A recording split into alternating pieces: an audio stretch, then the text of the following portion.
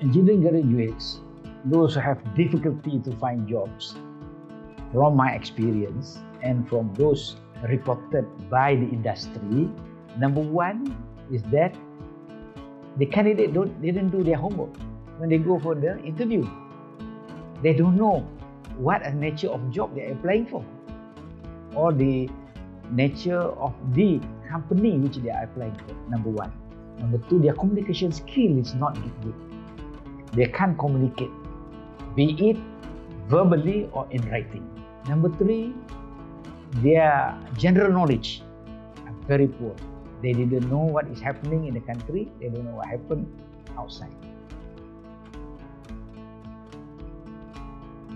My advice is that for this student, when they are in school, be active in sports or in the uh, extra curriculum activity, in debating, in whatever it is, scouts, Red Cross.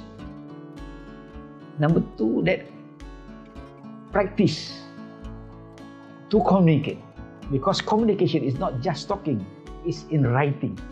So these are where you can develop by looking uh, at a lot of now you can go through the video, you can learn, and then you uh, must show that you are a team player and you must be enthusiastic enough to show your interviewer that you really want the job and to contribute into the company which you are asking for.